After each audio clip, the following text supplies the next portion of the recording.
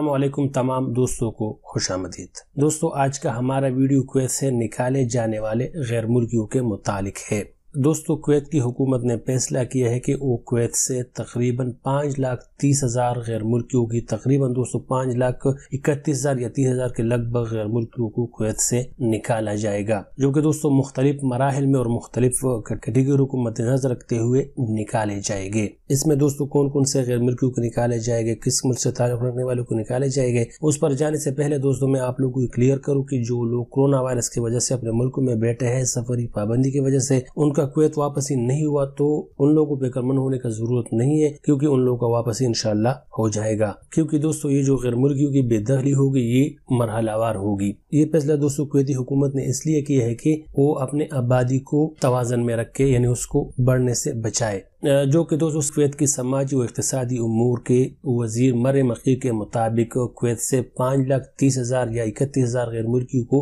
निकाले जाएगा मरहलावार जिसमें दोस्तों सबसे पहला मरहला जो कि कुछ गैर मुल्कियों के लिए अच्छा खबर है, वो गैर मुल्की जो कुवैत में गैर कानून हो चुके हैं, जिसके साथ ना अकामा है, न बताका है, वीज़ा उसका ख़त्म है तो सबसे पहले उन लोगों को टाइम दिया जाएगा, महीना, दो महीना जैसा सऊदी में दिया जाता है। तकरीबन ये टोटल तादाद जो इस वक्त कुवैत में गैर कानूनी हो चुके हैं, ये एक लाख बीस हज़ार के लगभग है, उसको पहला टाइम दिया जाएगा, उन लोगों को कुवैत से निकाल दिया जाएगा। जिसमें दोस्तों बहुत से ऐसे गैर कानूनी है जो जेलों में पड़े हैं, उन लोगों के अच्छा है वो निकल जाएगा इस कानून में, और बाहर जो है उसको भी चांस दिया जाएगा, वो भी अपना तरतीब कागजात सही करा के अपने मुल्क चला जाएगा। इसके साथ साथ दोस्तों, इसमें साठ साल से ज़्यादा उम्र के जो गैर मुल्की है, जिसमें दोस्तों ज़्यादातर वो गैर मुल्की साठ से ज़्यादा जो अपना कारोबार करते हैं, उसके लिए ये बुरा खबर है। जो कि दोस्तों, साठ बरस से ज़्यादा और उसमें दोस्तों, कुछ ऐसे भी गैर मुल्की है जो कि लाइलाज मर्ज में मुबतला है। मुख्तलिफ़ किस्म के अमराज में पता नहीं कौन से लाइलाज मर्ज है, जो कि दोस्तों टोटल तादाद इन लोगों का भी डेढ़ लाख के